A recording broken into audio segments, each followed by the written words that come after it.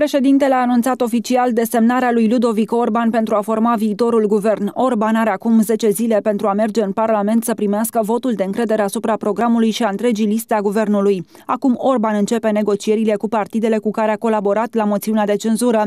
Însă misiunea pare una dificilă pentru că liderii partidelor nu se îngrămădesc să-l susțină. Ponta a declarat că guvernul PNL nu crede că poate răspunde așteptărilor societății, de aceea Pro-România nu va vota guvernul PNL. Pro-România este un proiect politic nou de centru-stânga, progresist și pro-european. România are nevoie imediat de reforme curajoase, de competență și eficiență. Vom vota și susține doar ce considerăm că este bine pentru România, pentru alegătorii social-democrați și pentru pro-România, a scris marți pe Facebook Victor Ponta. Acesta a completat. Nu am văzut în niciun fel modul în care guvernul PNL răspunde acestor așteptări ale societății, așa că nu se pot baza pe voturile noastre. A mai transmis Victor Ponta. Ludovic Orban s-ar putea baza însă pe voturile celor de la PMP, ALDE, UDMR și USR.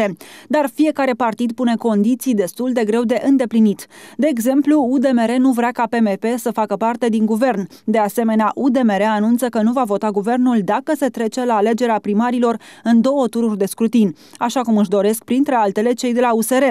USR a anunțat că nu mai vrea neapărat alegeri anticipate, dar își dorește alegerea primarilor în două tururi, votarea inițiativei fără penali în funcții publice, aprobarea legii recursului compensatoriu și consultarea Parlamentului pentru desemnarea comisarului european.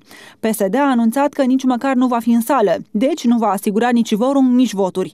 Posturile în guvernul Orban nu sunt bătute în cuie. Tot ce se știe până acum este că Orban vrea un guvern cu mai puține ministere, 15 16 și că pentru fiecare portofoliu sunt luate în calcul mai multe nume.